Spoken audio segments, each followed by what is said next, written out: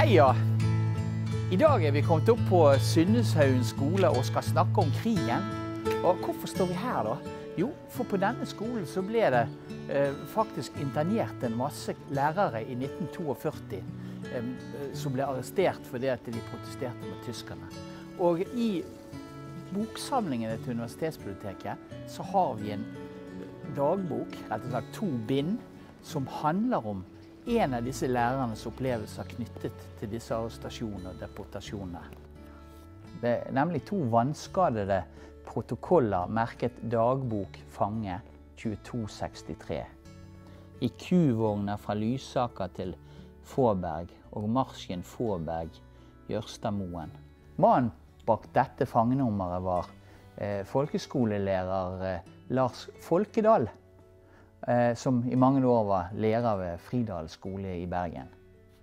Eh, kort tid etter at tyskerne okkuperte Norge, forsøkte Vidkut Quisling og Nasjonal Samling å presse lærerne til å gå inn for den nazistiske sak og oppdra barn og unge etter den nye ideologien.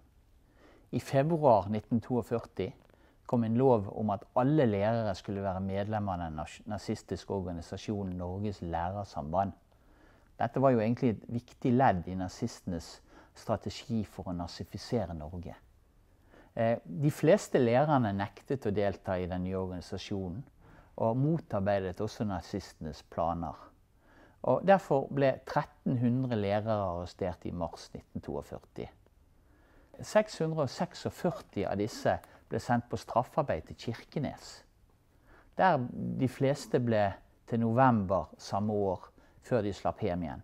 Blant disse var da Lars Folkedal, som ble arrestert 25.3.1942 av den nazistiske statspolitiet etter ordre fra Die Deutsche Sicherheitspolizei.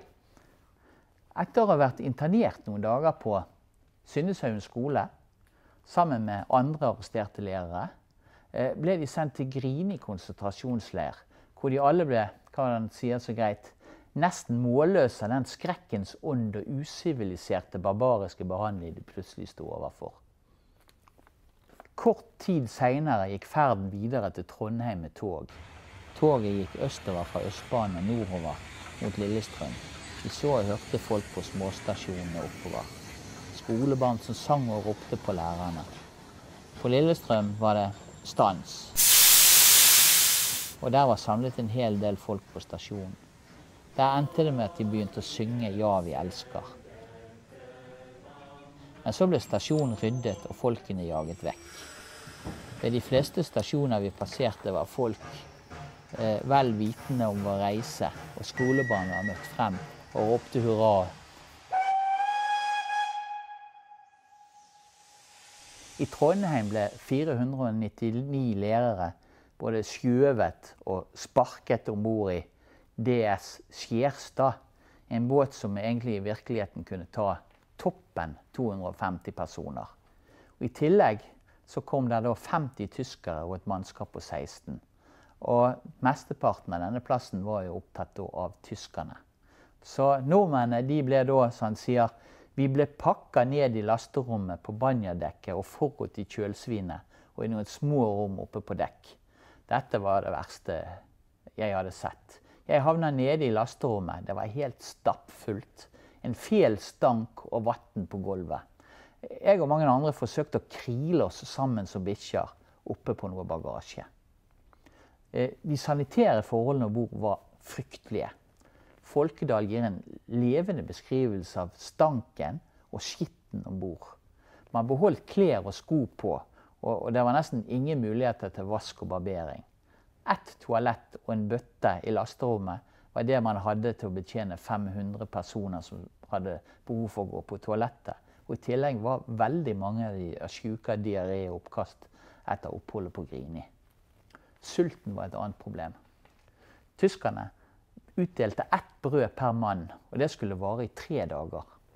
Ellers fikk fangene en del matvarer fra mannskapet og fra Røde Kors. Men det forhindret ikke at de alltid følte seg sulten. Utdelt tørrfisk om ettermiddagen gnager som bikkjer, forteller Folkedal. Enkelte fikk eh, ganske store psykiske problemer. Håpløshet og desperasjon kan jo angripe noen enhver. Men de aller fleste tilpasser seg forholdene på en god måte. Han forteller det er et merkelig liv her om bord. Det er kortspill og bibellesning ved siden av en annen, og prat og diskusjon. Ferden om bord i denne skrekkbåten varte i 17 døgn før skipet kunne legge til kai i Kirkenes. Her ble lærerne plassert i en arbeidsleir, og først 22.11.1942 kom Lars Folkedal tilbake til Bergen. På barakkene var det trangt, 30 mann i et rom på 25 kvadrat.